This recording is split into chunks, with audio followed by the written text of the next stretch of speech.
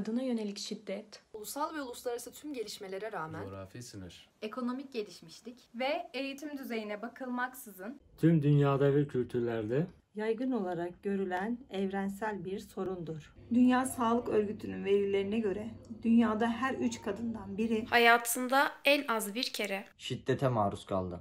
Yani dünyada 736 milyon kadın şiddet mağduru. Kadına yönelik şiddetle mücadele çok yönlü, bütüncül bir yaklaşımı ve toplumun tüm kesimlerinin ortak ve kararlı mücadelesini gerektirir. hiçbir kadının bir daha canı yanmasın, Bir kadın da aramızdan ayrılmasın diye Kadına yönelik şiddetle ben, Ben de mücadele mücadele Ben de ediyorum. mücadele. ben de mücadele ben de mücadele ediyorum. Ben de mücadele ediyorum. ben de mücadele ediyorum. biz de mücadele ediyoruz. Ben de mücadele ediyorum. Ben de mücadele ediyorum. ben de mücadele ediyorum.